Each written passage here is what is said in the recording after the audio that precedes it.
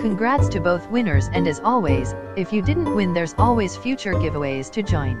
So until then, please join the in-between content on my channel.